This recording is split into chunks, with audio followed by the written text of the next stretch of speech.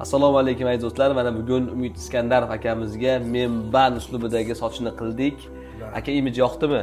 Avvalambor assalomu alaykum qadrdonlar. Endi ukam har doimgidek mana yetti yil bo'ldiki sani oldingga kelaman har doim. Har xil prichoskalar qilganmiz. Kalam bo'lganman esingda bo'lsa bok sportivniy ham oldirib yurganman.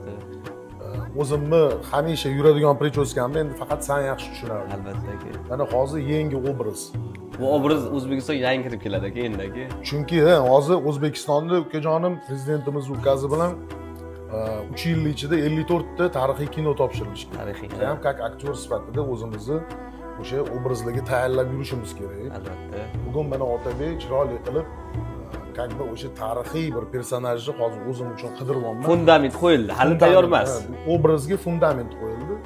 Sekin sekin hozir mana e, yana o'zini joyiga keladi ikki oy ikki yarim oyda o'ziga keladi inshaalloh. Eng asosiysi qadrdonlar yana aytib o'tadigan tomonimiz bor.